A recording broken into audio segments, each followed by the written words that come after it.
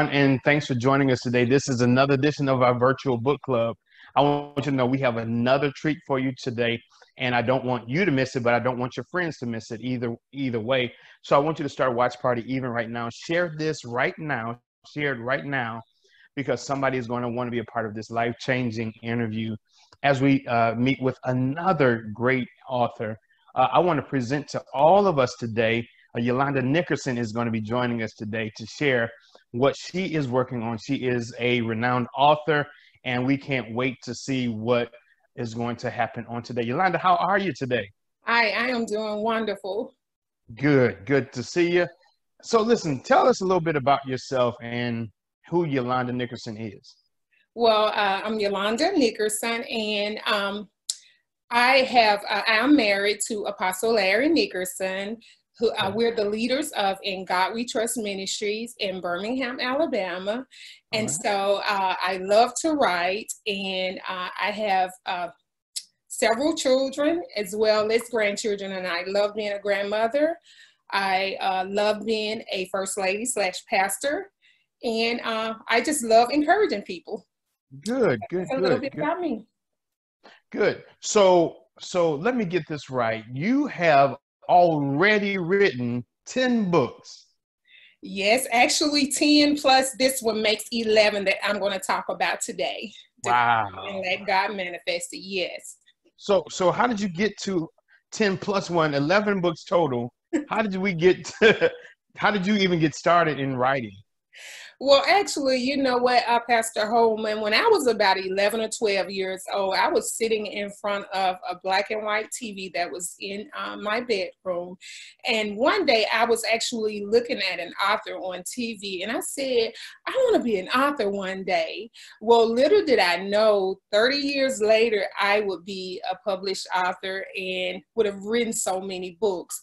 And so I started off back in um, 2007 and I wrote my first book, uh, From Victim to Virtuous, which represents brokenness to wholeness. And one fourth of that book pretty much shares uh, my childhood, things that I went through, uh, the dysfunction, the abuse, things I encountered as a child, and that obviously spilled over into my adult life. And so when God had me to write that book, He wanted me to share with women who uh, are broken so that they could uh, gain some information through that book to navigate them uh, to a place of wholeness. And then after that book, I birthed uh, the other uh, version for girls. Uh, and I also um, wrote a version for teen girl for preteens and so i have a series from victim to virtuous series and wow. so again, it's all about uh, just helping uh, broken girls and women to navigate their way uh, through brokenness and become whole. Cool. So so so you get through all your your series of books, and then now last year you launched your book decree it can you talk about how we get to decree it even right now well, here's the thing. I love to encourage God's people. I literally love to encourage his people. Primarily, my ministry is catered toward, you know, outside of our church, my ministry is catered toward uh, helping girls and women. And mm-hmm. so, but this particular book here, um, when I was, let me kind of rewind back for a minute and share something with you. In 2013, I was ordained as an evangelist. And when I was ordained as an evangelist, the, uh, the uh, apostle that charged me, she told me, she said, God said, whatever you begin to decree with your mouth, He's going to manifest it. And so last year, well, actually, it was at the latter part of 2018 when I started writing this book. And mm-hmm. all of what she told me came back to me because ever since then I had been decreeing and declaring and I had been seeing how things would manifest in my life. So at the latter part of 2018, God told me to put this book together and uh, help other people so that they can understand the importance of decreeing and declaring a thing. And so I started writing this book and then I uh, it was released in January of 2019. And so uh, it kind of moved at a snail's pace initially but then God told me to revisit it this year during this pandemic and, um, you know, just share it with the people. And God has been blessing it to uh, reach so many people in this season because we're in a season right now, there's so much darkness and chaos going on in our world. And so yeah. we really need to decree and declare a thing And um, all of the declarations in the book, of course, are in alignment with the Word of God. All right. All we got to do is just open up our mouth and say what whatever it is that we want God to manifest in our life according to His will and His word, and it will happen. Yeah, especially in times like these, uh, we need some encouragement. We need some empowerment. So, so let's let's talk about some of the days in decreed and talk about the manifestations of God. Uh, one of the first you wanted to talk, let's talk about day one. Okay, day one is this decree is I decree that I will have what God promised me. And okay. so many people, when they face dark times like this, a lot of times we uh, don't believe God going to still manifest what he told us, he what he promised us. God may have promised you something a year ago or two years ago. And so what I want you to, what I want the reader to do is to still meant to still decree that thing. You know, God, you told me that I was going to uh, be married. You told me that I was going to have a business. You told me that I was going to have a church. You told me that I was going to have a child. Whatever it is that God promised you, whether it was a year ago, two, three, four, five years ago, I just want people to know that the promises of God in Him are yes and amen. And if He told you that He was going to do something, that settles it. He is going to do it. He's going to fulfill the promise. So I want people again to understand the importance of decreeing and declaring with their own mouth and whatever it is that they decree is going to manifest. We have to learn to, the importance of speaking life into every situation. Proverbs 18 21 tells us life and death are in the power of the tongue. So when we speak the word of god we're speaking life. So when we're speaking and declaring with our mouths the promises of god they're going to manifest we just got to continue speaking his word. We got to continue declaring positivity uh, with our mouths. All right. All right. Then day six talks, day six talks about walking in your purpose. Give me that declaration. Oh, wow. And you know what? I wanted to hone in on this one because right now I am actually having virtual classes teaching people about the importance of walking in their God-given purpose. You know, we're in a season, of course, where it is so necessary and it's critical that everybody put their hands to the plow and do what it is that God has called them to do. Of course, we have to take baby steps when we mm-hmm. first start out, but we will get there. Now, walking in your purpose, again, is so very instrumental. And I want people to decree because here's the thing each and every one of us has a purpose. Some people know what their purpose is and some people don't know what their purpose is. But of course, we have to start by seeking God about our purpose.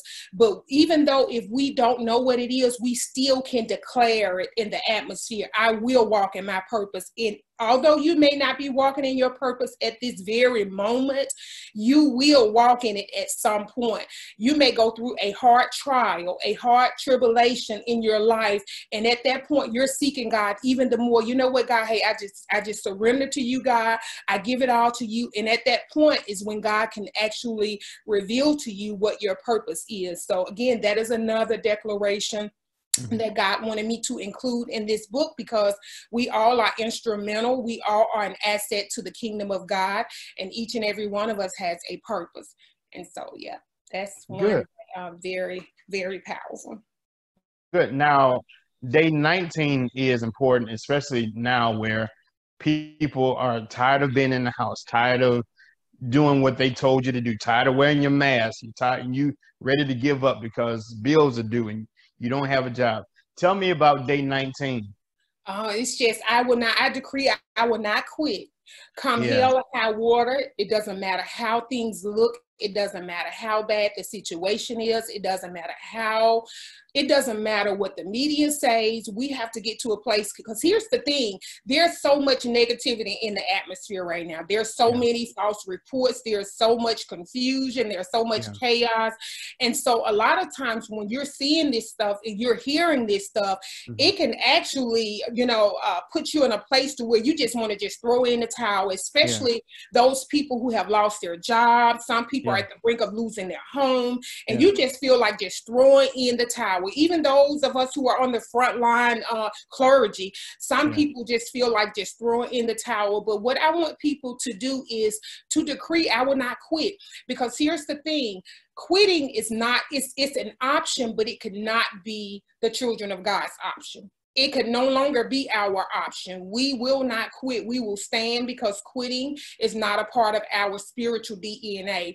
And so that is a part uh, of that that declaration. It's letting the people know, letting the reader know that uh, it's personal. It's not a part of your spiritual DNA. You do not have to quit, although you are at the brink of quitting. You feel like quitting because there's so much going on, but you cannot quit. You cannot yeah. quit right through here through this dark season of your life through this pandemic because here's the, on the flip side of this thing god is still blessing in the uh, in the process in the midst of this pandemic he's still blessing. And so i want people to look toward heaven where all of their help comes from and just realize that god is on their side god is actually on the inside of them and they have every reason to get up and push forward and not quit yeah. So that's a that's a declaration that definitely needs to be said over and over in this season. And when the reader gets this book, they get a chance to decree it. You know, hey, I will not quit. Yeah, yeah, and that that's major, especially now. Uh, exactly. And uh, day twenty six talks about connecting with the right people. How important is it uh, even now that we connect with the right people. It is so very important. You know, you have to be surrounded by positive minded people.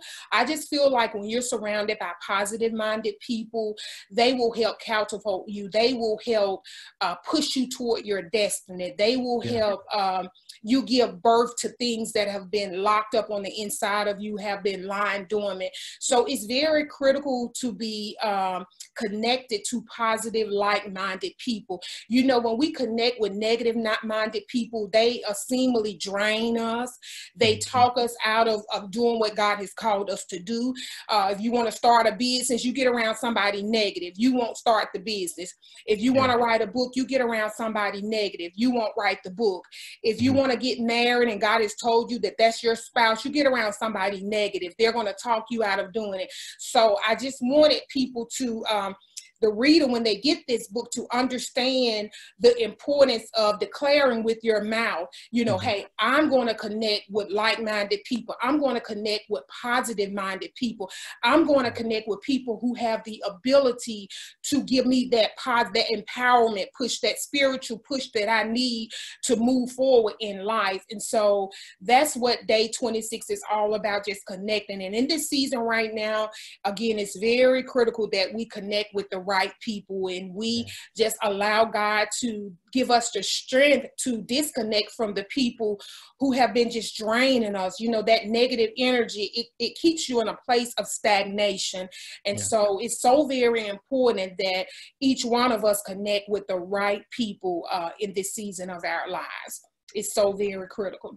How important for how important was it for you that you stayed connected to the right people along your journey? Well, it was very important because again, I've been connected to the wrong people. I've been connected mm-hmm. to by way of relationships, uh, mm-hmm. friendships. I have been connected with the wrong people, uh, friends who don't support.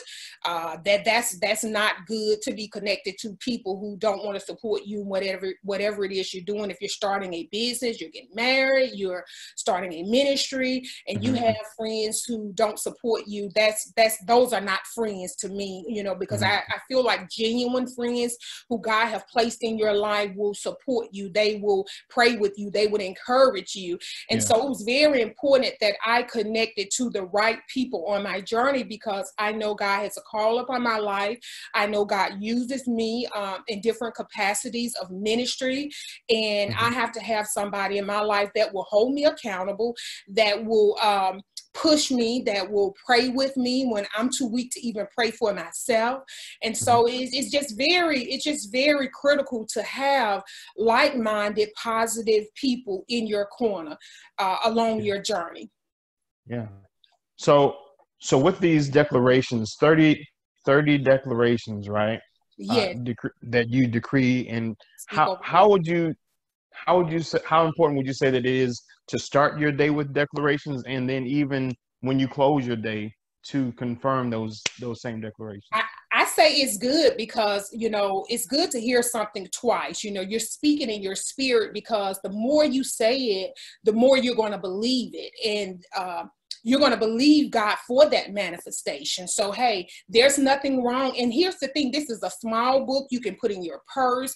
If a guy were to read it, he can just put it in his, fold it up and put it in his back pocket, put it in your car. You get up that morning, you read day one, uh, you read uh, day one at noon around your lunchtime, and then you can read it at night before you go to bed, especially if you're at a place to where you're really believing God uh, whatever that declaration is saying, if you're really believing God, if you're at that place in your life, literally, you would want to read it more than one time. I've had uh, some of my readers here recently said that they read the book in one, just in one sitting. They read it literally in one sitting. And so that's a good thing. That speaks volume right there. And so they, they said that they were not able to put it down because the declarations were so powerful. And here's the thing you decree it and let God manifest it. So you're speaking these, you're continuously speaking these declarations over your life. So you can read it however you want to read it when you get it, but it's so, it's so very uh, instrumental that you know you get these declarations in your spirit, and so therefore yeah. you have something to look forward for. You can believe God for the manifestation the more you read it. Good.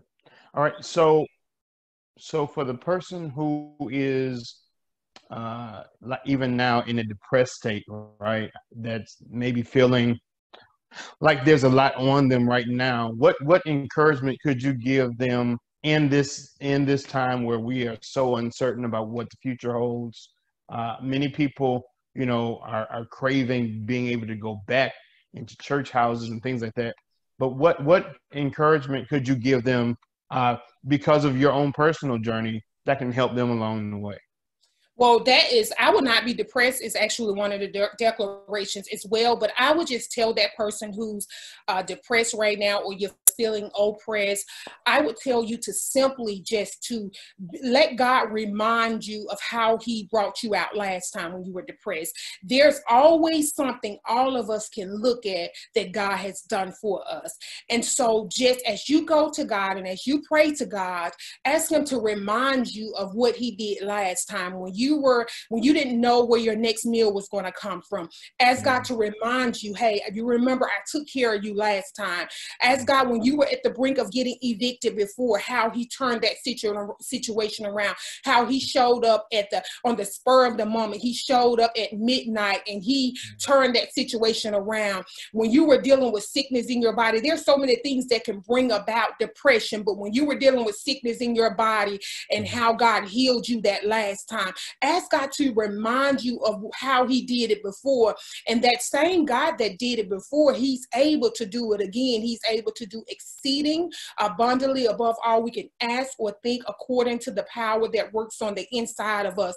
And so here's the thing, another person, you may be depressed and you you can't even say, you know, God remind me of these things, but all you can say is just Jesus. Sometimes we just have to call Jesus. Hey, we know demons got to scatter. They got to leave when you just say Jesus.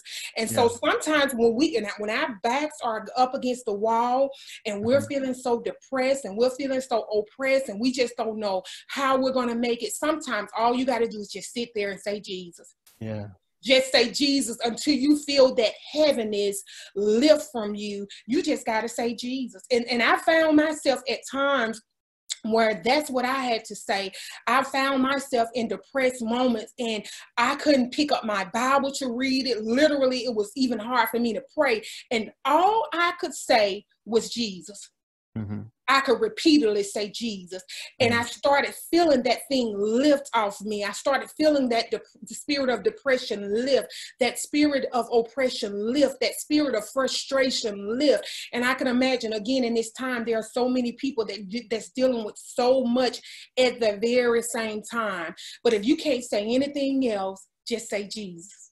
Yeah, yeah, good what advice you you've written 11 books and you, you're working on another one yes i have written 11 books this is my 11th book I love to write. I love to encourage. Listen, and I'm getting ready to release another one in the very near future, and it's for single ladies who desire to be married.